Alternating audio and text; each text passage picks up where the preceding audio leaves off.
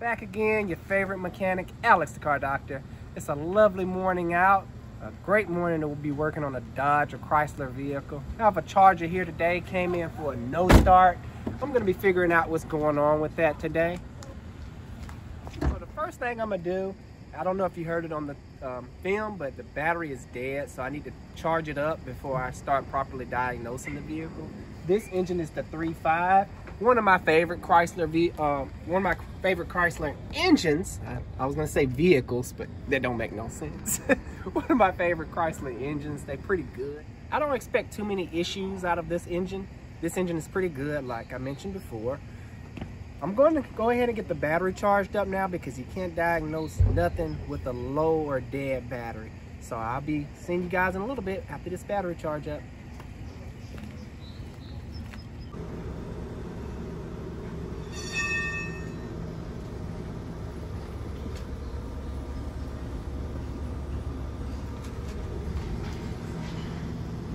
Just got the battery charge all hooked up. I probably leave it back charging for about an hour. I don't just work on Dodge, I work on a wide variety of vehicles, but that's what's been coming into the shop lately. Get the hint. Anywho, Dodge, other cars, they all have their issues, but people bring their Dodge, Chrysler, Jeeps to me. I guess I make them leave happy. I have another Chrysler up here. That one's getting the transmission.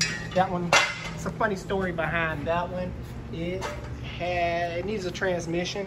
A mobile mechanic called himself putting in a transmission and just totally butchered the job. It was, ooh, it was a mess. And like I said, I do work on other things. This one getting some suspension work, uh, rear main seal, just to get you a general feel from what I do here. Not only Dodge, finished charging the battery. Got my nurse Nando with me today. Hey, how's Say, it going, guys? Yeah. Say hello, Nando. All right. So I'm gonna turn it over and let you guys hear it now with the battery charged up. That's another good test you can do. Just crank it over, listen to the motor. I'm gonna show you that now. Go ahead and spin it over, Nando. Take this and plug it in too.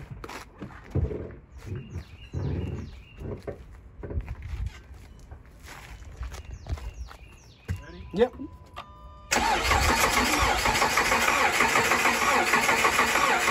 All right, that sounds pretty good. What you're listening for is like a um, the. I hate making it just sounds, but I'm gonna make it for you guys today. You're listening for the choo choo choo choo choo choo choo choo choo choo. But it somebody's like gonna rip you in the comments. choo choo. Okay, go ahead. Choo choo. Mm-hmm. But that's what you're listening for. You're listening for a consistent choo choo choo choo choo choo. But this one was making a little funny noise. It was like choo choo choo choo choo choo choo choo choo choo choo. That could mean a lot of things. Um, the main, I know, the main engine failure of these three fives is the timing belt. There, they are timing belt driven, and a lot of people neglect the timing belt, and it will break, causing it to bend valves. And if it does break, it'll sound more like a sewing machine. It, it sounds more like, gee, like a nice smooth. You won't hear no bounce up and down. So it sounds, that's like a listening compression test. Not very accurate, but that's what I just did there. The next test I'm going to do because an engine need a couple of things to run. Fuel, air, compression, spark, and it needs to be able to breathe. So the first thing I'm gonna check is make sure the air filter, I know it's silly, but sometimes if the air filter is stopped up, it can cause the vehicle not to start and like cutting off your air supply. You can't really do much. So, air filter looks pretty good. Um, I'm gonna skip because I kind of kind of already know what it could be but for video purposes I'm gonna show you anyway the next thing I'm gonna check for spark I wasn't gonna show it but for video purposes I'm gonna show it so I'm gonna check for spark next I'll be right back with the proper things I need to check for that. Right, got the tools to do the test. Now I'm very cheap. There's actually a tool for this. It's called a spark plug tester. Uh, but I normally take a regular spark plug. But you got to be careful doing it this way because you can get electrocuted. Being hit by thousands of volts is not fun. So be very careful. So what I like to do, and this may take two people, or what I used to do by myself back when my mobile mechanic days, I used to set my phone up right here, hit record, and turn the car over. And what we're looking for is the spark jump. All right, turn it over, Nando. No spark. Do it again. Oh, I seen a spark. Do it again just to make sure. All right, I guess it wouldn't that cylinder turn, but it is sparking. So I'm gonna move on. Next thing I'm gonna check for is code. You can take the camera over to Fernando. He explain what codes we have. I'll put this back together. All right, we got a P0303. That's a cylinder three misfire detected. And we also got a P0463. That's a fuel level sensor A circuit high. We have a P2068 fuel level sensor B circuit high. We have a P0562 system voltage low. That's from the dead battery, obviously. P0463, and that's also the fuel level sensor A circuit. And then we have the repeats as pending. Let me see.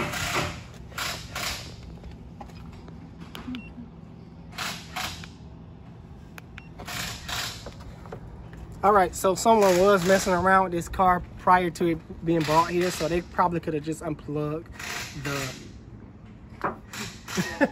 the the fuel pump plug, the main plug for the fuel pump. I do recall them saying something about that.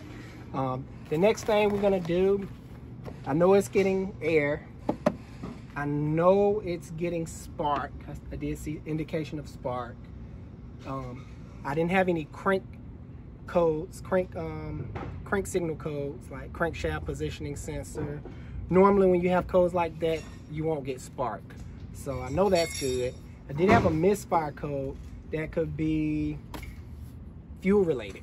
So next thing I'm gonna check is the fuel pump, making sure the fuel pump is coming on because if the fuel pump is not coming on, this car is not gonna fire over. So I'm gonna check that now.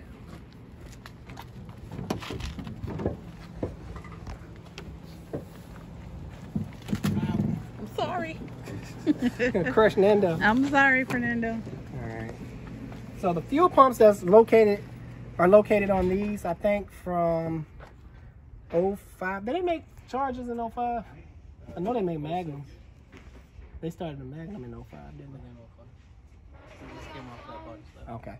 So any charger type laid out vehicle, I know, I do know that the fuel pump is always in the same location under the seat here. So I'm gonna pull back the, and you just kind of lift up real hard. This one wasn't even connected. That let me know someone hasn't been back here already.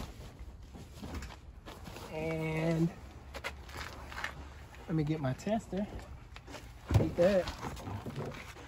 You come. Oh. So, all right. Now, it's easy to find the main power wires because they're always going to be the thickest. I don't know if you can see on camera, these two are very like thin and these two are the thick wires. So these are the power wires and these are like the fuel level wires. So I'm gonna probe it and see what type of power reading I get. Turn on the volts.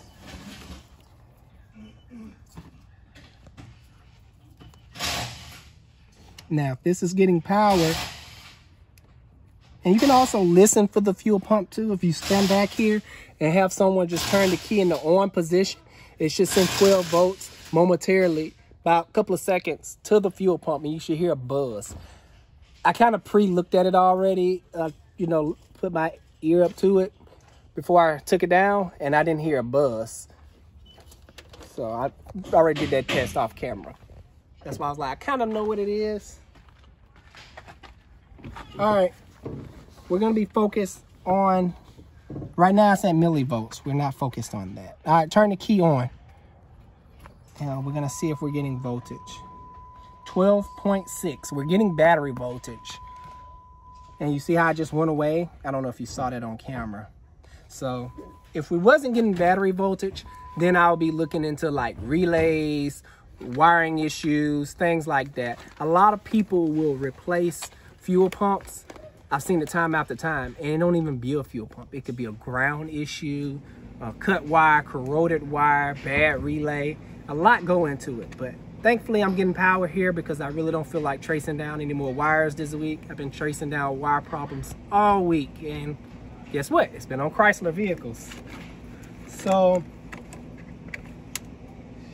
I'm gonna end the test right here, but for a couple of tips, if it was exhaust related, meaning if the catalytic converter was stopped up, sometime it'll crank up and but you would have like skipping issues once the car get hot it just starts skipping low power things like that because the car is not breathing well uh, another indication the catalytic converter stopped up it can start glowing but that can be also another indication of the car is running too rich or too lean so it's a lot that go into this stuff but this one has a bad fuel pump i'm gonna re uh, recommend a fuel pump for this vehicle Alex the Car Doctor out. If you have any questions pertaining to this video, please comment. If you think I missed something, you know, write down in the comment. I love hearing from you guys.